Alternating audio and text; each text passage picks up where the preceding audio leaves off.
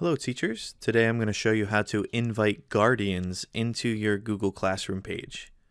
First thing you're going to want to do is log into whatever class you're dealing with and you'll be at your home page. And then you're going to go to the third tab on the top where it says people. You're going to go ahead and click on that.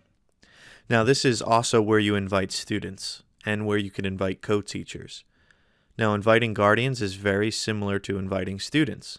However, it does require you to invite the students first. As you can see here, I have one student right here. And over to the right, there's a little link here that says invite guardians. All I have to do in order to invite them is to click on it. And then it'll ask me to type in a name or an email. Now, if you start typing in the parent's name, their email will only show up if you've emailed them through your Google account before. If you've never had any dealings with their email account, then it's not going to automatically show up for you. So in that case, in order to send an invite, you're actually going to need the parent's email. So that's most likely going to come from whatever learning management system you're using.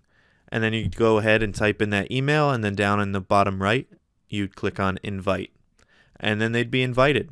And just like when you're inviting students, when you first send the invite, their name will be grayed out a little bit, kind of looking like here where it says email all, guardians.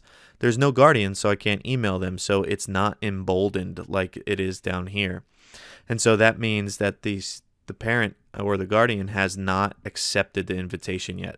So it's very simple to invite a guardian, and that is how you do it.